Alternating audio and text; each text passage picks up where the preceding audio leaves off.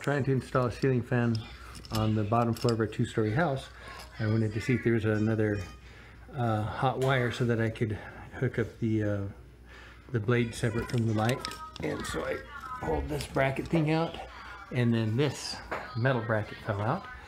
And it turns out that the two screws that go inside of there, if I can show you, you can see, but this bracket goes on top of that uh, there's a, a metal brace that goes there and that goes there. The problem is, and of course that that will um, that's what the screws screw into from this side of the of that thing. And so the problem is I don't have clearance without cutting out some drywall to hold it while I do it. So I'm going to try something and we will see if it works. Okay, so what I've done is I've taken a string and I'm going to put that up there and pull on both ends of the string so I can hold it tight. The hard part's just going to be lining up the two the two holes with the holes inside of the, the white thing up there. You can see how much I know about this stuff. It's just called a white thing to me. So now I got the strings there so I can pull on on this to hold it in tight while I screw in the screws. And we'll see if I got clearance for the strings. I labeled with a pencil the two sides so I can tell where I'm even with the bracket, more or less.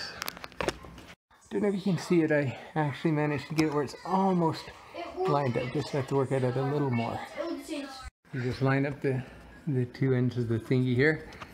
My marks and I actually met it was a little off, but I managed to get to pull down on the cord and then I managed to get one in. We'll see if I can pull the other end and get the, the other screw in on, on that hole right there. I can't believe I did it. I actually managed to just have to pull down real hard. I had to kind of move it around to get it to move this around and I got this lined up and they're they're in really tight. So either I'm going to loosen them a little, see if I can pull the cord out. I think that's the easiest. Uh, or I just cut off the cord if it comes down to it. So one disaster averted. Don't forget to subscribe so I can get paid eventually for these videos. If it was helpful to you.